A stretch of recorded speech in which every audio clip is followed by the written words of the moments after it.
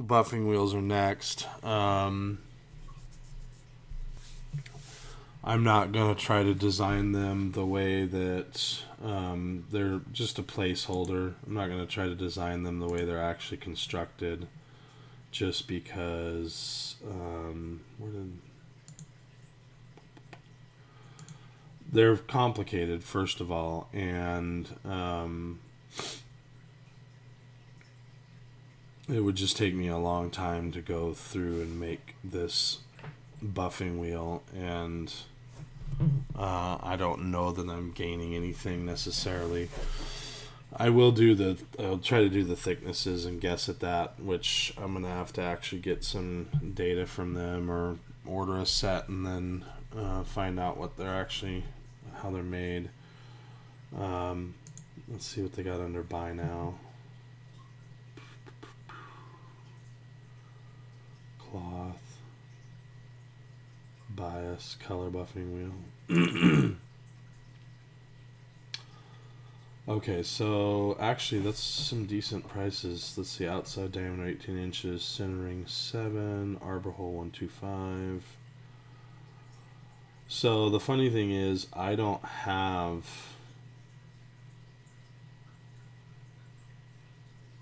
I don't have um, I've got a one inch arbor, so I should probably have a couple of centering rings made. Uh, let me think about this.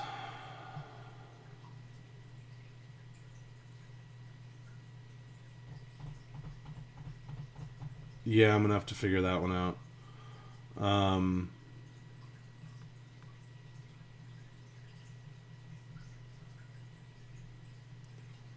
17, 18. So this is the one here that I'd probably order. Outside diameter 18, center ring 7.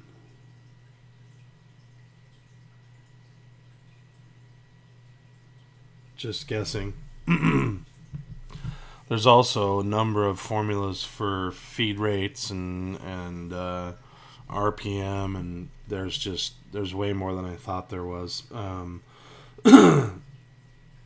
so I'm gonna have to kind of digest some of that stuff too, and I won't drag you guys through that because there's it's there's quite a number of formulas that are on this website. But um, so I think I'll go ahead and model this one at 18. Let's see, centering ring seven.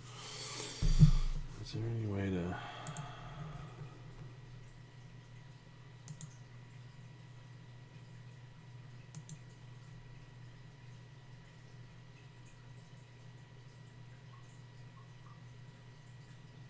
So it looks like that's a single piece of metal.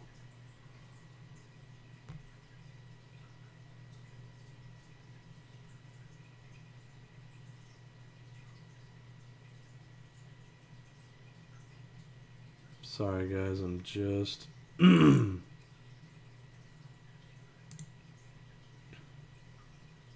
centering. So I know based on where they want you to grab the buffing wheel about what this should look like. So let's try it here. We, we'll we'll make it pretty a little bit later.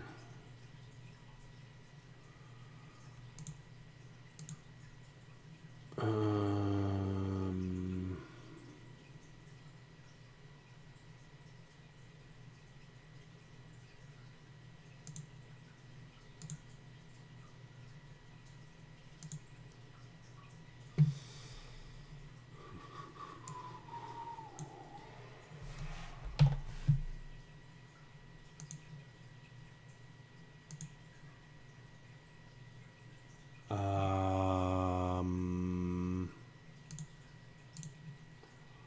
Okay. Not going to be able to do a single line. Let's see, we're going to go like this. And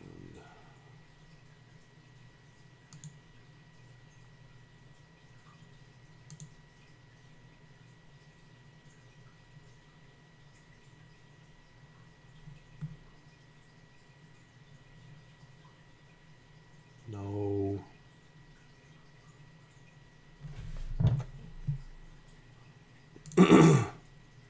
if anybody knows a way to get out of that command when that happens, please let me know in the comments where once you go over the end of a line, it starts trying to generate arcs.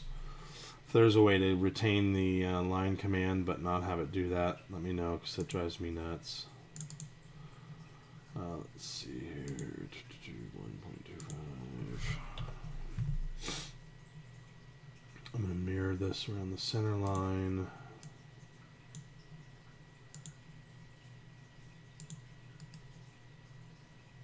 Is it one piece? Yeah. Huh.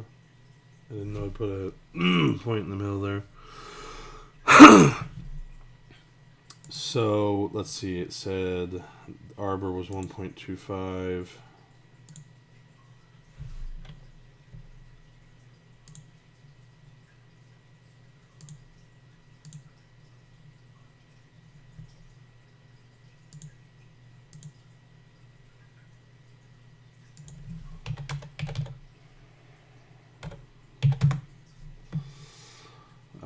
Um, and it said that the flange was seven, so it's seven like here.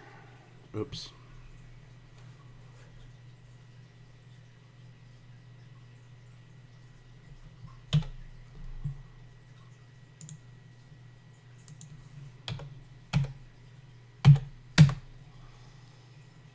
And did it say what side, what width it was? Let's see.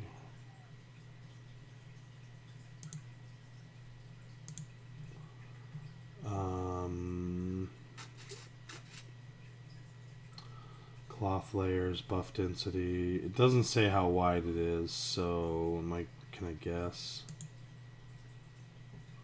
No, because it doesn't show it end on. I'm, I'm going to say it's under an inch, just guessing. Pure guess on my part.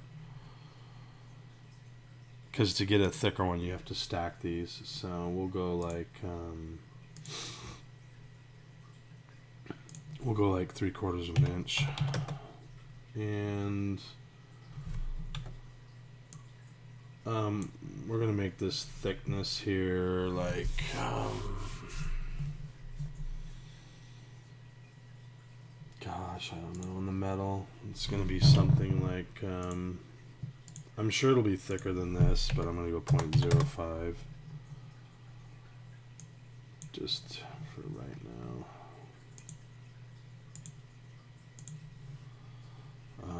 where's my equals? Equals that. And then this one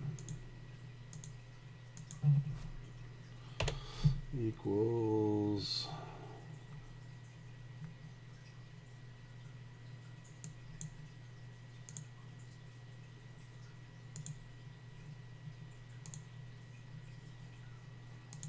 And why do we not like the revolve? What's wrong with it? Uh, so here's a problem with SolidWorks. This right here drives me batshit crazy. Why is it that once I create a thin feature, um, and this would be a question for SolidWorks if you happen to pop onto my video, why is it that it's not just a revolve? A revolve is a revolve is a revolve. Why is it that that's grayed out and I cannot deselect it now that I've that I've generated another part with a thin feature? you guys need to write that out of the program. It's total bull crap. So what it means is I have to probably destroy this revolve and uh, regenerate it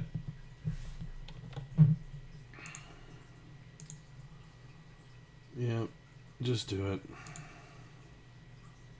Sketch is open or self-intersecting.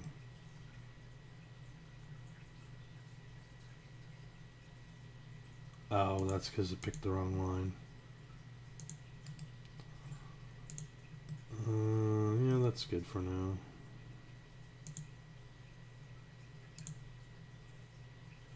I, I missed something, guys. Excuse me. I would guess this height here is something in the order of one inch.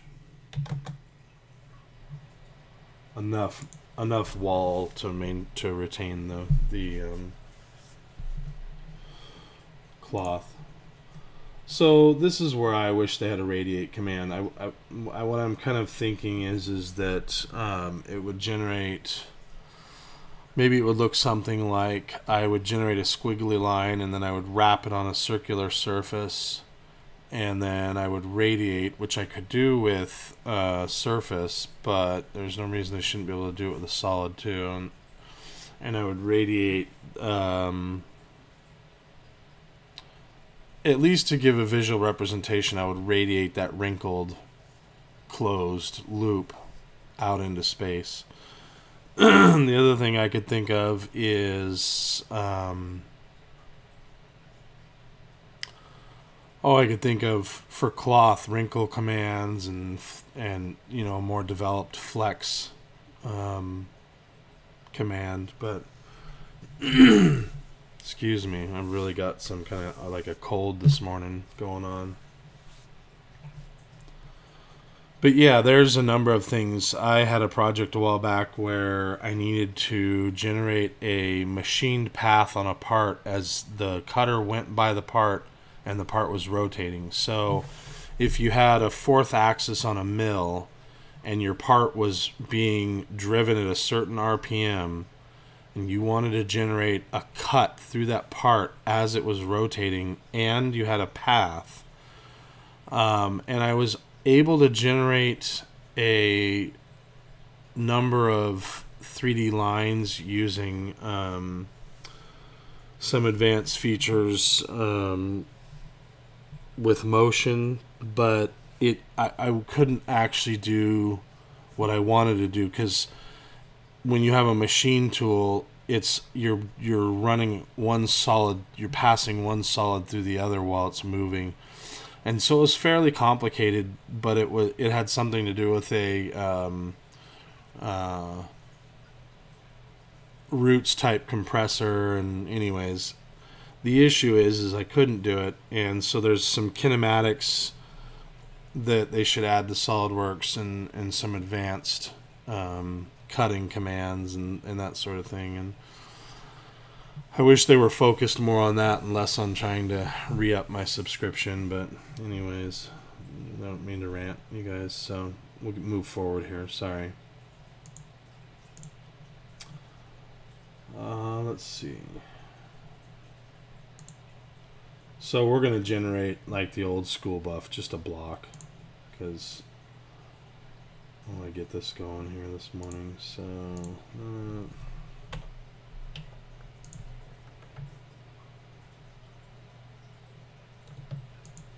oh, I saw it. There's a silhouette edge.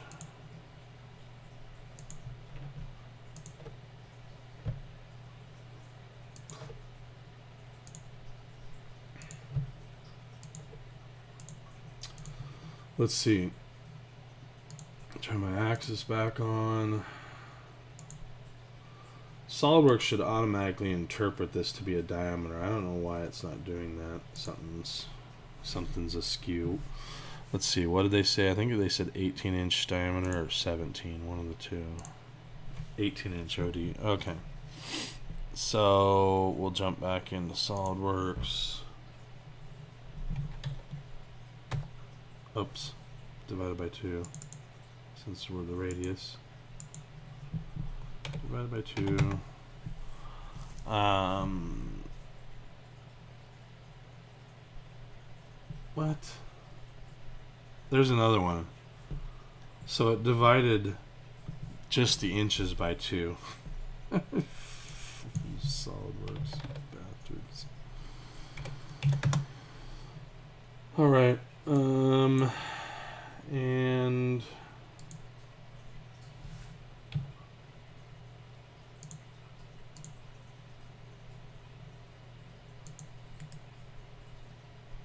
obviously I don't want it to merge so um, as soon as this stupid thing gets done I'm gonna roll this back and, and throw a weldment feature in the top that should fix that I hope. Come on. Oh I thought we were waiting on me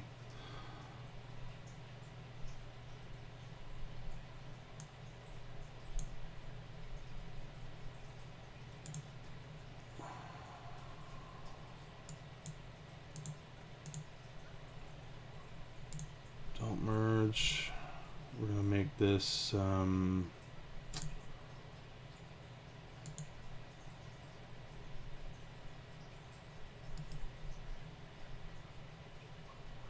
what sort of material don't what can do they have cloth? Let's see non-metals.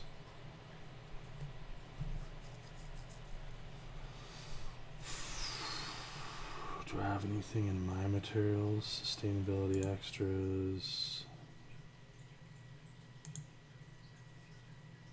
packaging materials corrugated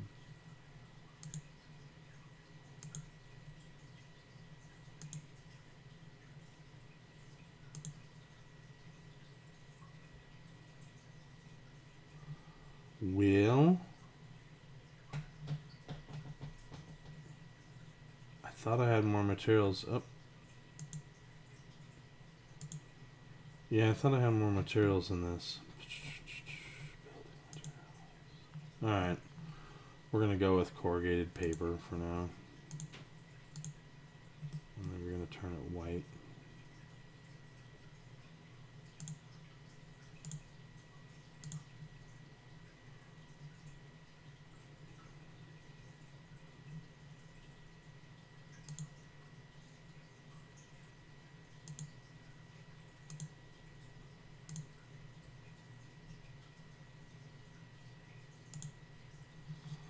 Alright, we got some beige cotton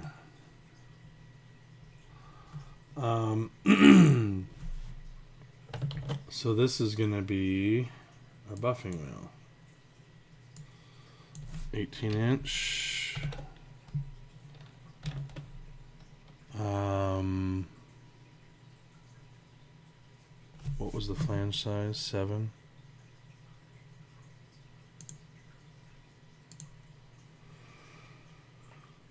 1.25 arbor, okay. 18 inch OD.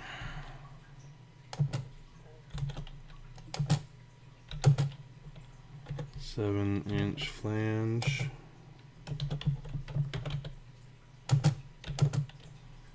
One point two five arbor.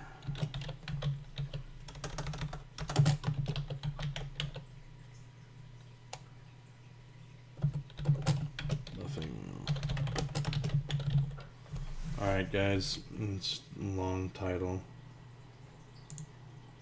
And we're coming up on 30 minutes here. I'm probably going to have to divide this video into three pieces.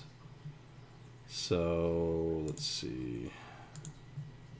Um, so we'll stop here and uh, we'll regroup. Um, and we'll start doing a little bit of assembly. Uh, I still haven't decided on the frame. I think I'm going to go with some one by one tubing or some inch and a half by inch and a half tubing. It's real common at the steel place. Um, and they've got a bunch of different fairly light walls. I don't want it to be real heavy. And then I've got to figure out one of the things I keep thinking about is I want the pulley tension to be some sort of ratchet system where the motor is on a hinge and then there's just a light force applied to tension the wheel and it could be almost like a snowboard um, strap or I just haven't quite figured it out because I want it to be quick release. I think a snowboard strap would actually work awesome. Uh, and then it's quick release. You know, when you want to change the wheel, you just pop it off, flip the motor forward, and you're ready to work. You know, change the belt speed. so we'll go ahead and end it here, guys, and we'll pick it back up um, on the next one. Talk to you guys later. Bye.